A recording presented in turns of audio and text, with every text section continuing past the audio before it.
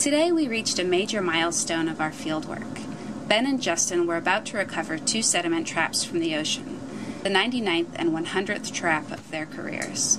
We were excited about achieving such a feat, but didn't want to celebrate before the traps were safely brought back on deck. And then something completely unexpected happened to trap number 99. That's a tuna! This is not what we were trying to capture in our sediment traps. Oh, over there!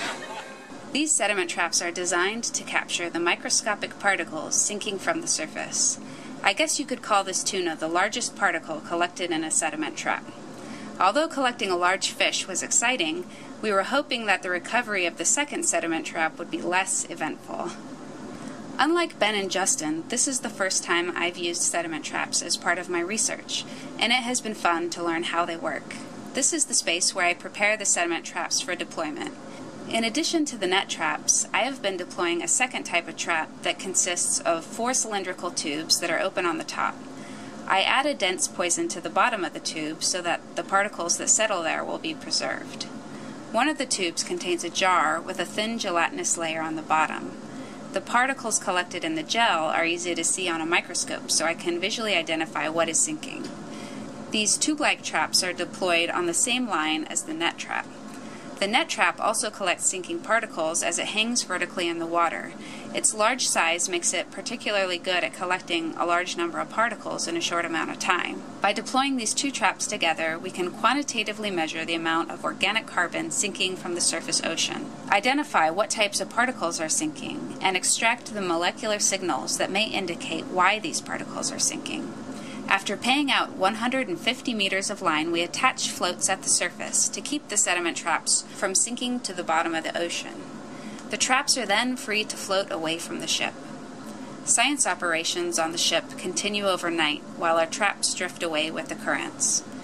The next day, we find the traps using the ship's radar. Even after 100 deployments, I'm still amazed that we can find these tiny specks that are adrift in a vast ocean. It's always exciting to see what was collected by the sediment traps once we get them back on deck. However, the samples are usually not as surprising as what we collected in trap number 99 today. This unfortunate fish probably found his way into our trap while chasing down a meal of smaller fish. These were also found inside the net trap.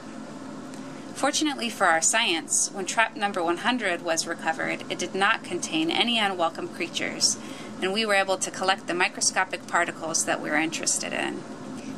These are the sinking particles we collect onto filters, which will be used to measure how much carbon is sinking from the surface ocean, and also to characterize the molecular signals produced by these particles. Although finding large animals in the trap was exciting, I can honestly say I'm way more excited to look at the microscopic organisms collected in the gel at the bottom of one of these traps. I never know what I'm going to discover when I look through the microscope. These microscopic creatures, usually just single cells, are so beautiful and complicated. Although most of these organisms are smaller than the width of a hair, their influence on the chemistry of the Earth is enormous. The growth of these tiny cells, and whether they sink, also affects the organisms on Earth that we're more familiar with, including the tuna that swam into our net, and also the excited people on the ship. By characterizing the plankton that sink from the surface ocean and the molecular indicators of that process, we can better quantify the influence of these organisms on the global environmental system, one sediment trap at a time.